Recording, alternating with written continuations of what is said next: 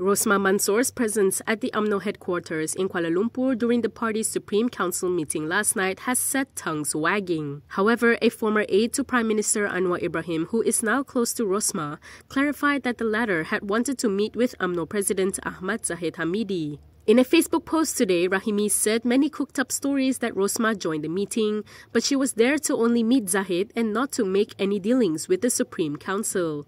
Rosmah, who is the wife of former Premier Najib Abdul Razak, shared a posting on her Facebook implying that is the true story. Meanwhile, Rahimi claimed the meeting with Zahid lasted about 10 minutes and Rosmah had exited the building through the underground car park, so nobody saw her leave. The former aide added that she was only there for a few minutes, not hours, when speculation sparked among the public after receiving news of Rosmah's surprise appearance at the UMNO headquarters. Malaysiakini understands that the meeting with Zahid was not related to her case or Najib's upcoming judicial review on the SRC international case next month.